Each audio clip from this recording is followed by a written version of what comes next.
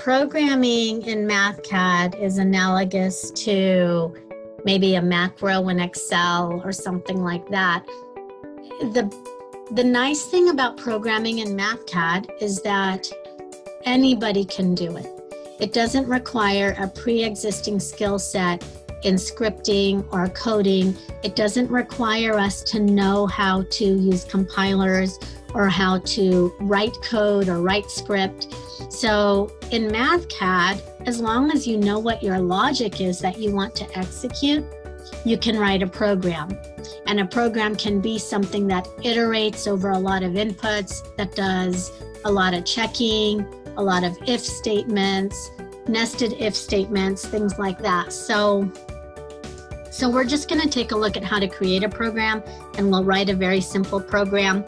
So on the math tab over here, if we go just about to center, we see this programming button.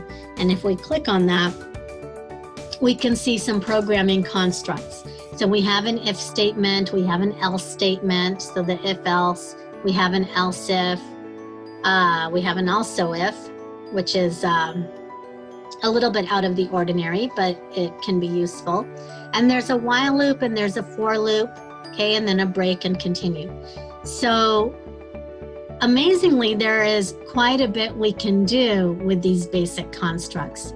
And when we're writing a program in MathCAD, all of the math still goes into the program using its natural native math notation. Okay, so that's one of the things that makes MathCAD so useful is that the math is very transparent. And if we're programming in MathCAD, the math is still transparent. So to create a program, we start here. Okay, we start with this vertical bar. So if I click on that vertical bar, it now I've created a program and we can add more lines to that program by hitting enter or, or clicking there again. And so now we have four executable lines. Okay, so we have four placeholders, and now it's up to us to fill in the blanks on what we want to do on each line. So this is where we go back to these constructs, and we use these these constructs, and we also assign variables inside a program using this reverse arrow. Okay, so let's write a program, okay, that takes two columns of numbers, and we'll call them mass and acceleration, and then maybe we'll calculate force for every combination. So let's just create a table of inputs here. Okay, so we're gonna go to the matrices and tables, and maybe you're creating a table of inputs just like this, just like I am, or maybe you're gonna import this data from another file it, either way is fine. So we're going to call the left column force. We'll give it units of, sorry, let's call it mass, mass. And we'll do units of kilograms there. And then on the right column, we'll use acceleration. And then here we can use uh, meters per second squared. And so then we're, we're just going to put in some numbers here quickly. So 7.8.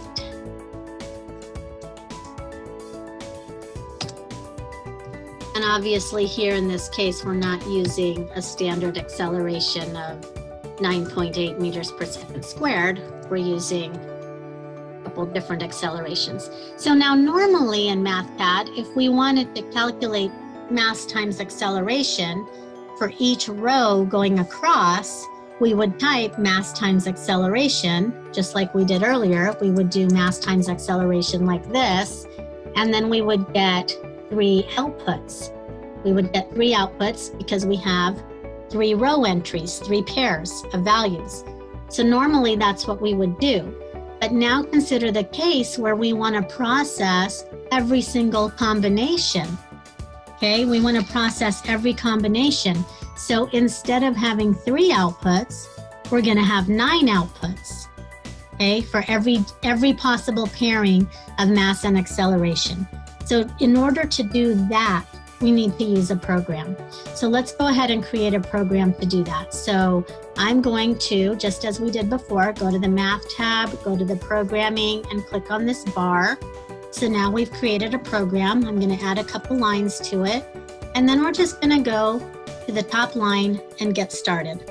So now here, we want to iterate over all of the entries in the mass vector. And then we want to iterate over all of the entries in the acceleration vector. So we want to loop over both of those. And so we're going to start out with a for loop that loops over the mass vector. Okay, so we're just going to click on the for loop and it puts in the for construct. It puts in the placeholders where you need to fill in the blanks. So we're going to give our for our looping variable a name i. That's an independent looping variable. And we're going to say as i goes from zero to the number of rows in the mass vector minus one. Okay, so we have three rows in the mass vector. Okay, so rows minus one, or three minus one is two. So we're gonna loop from zero to two. And then the same thing, okay, so four on below, we can type forces equals, and we'll see our three by three array of forces. So we've iterated over every single combination of our inputs. Okay, so that's how you write a program in MathCAD. It lets you iterate and then you can also do checking conditions. So we could easily add in here an if statement that checks, is this force greater than 65 newtons? Is, if it is, we pass, otherwise we fail. So we can add those kinds of checks into our programs as well. But as you can see, you don't have to know how to program. There's no compiler, there's no uh, real programming syntax, there's no scripting. We click on these constructs and then we fill in the blanks, and the math is uh, still the math as we're used to seeing it. So that's a little bit of an introduction to programming.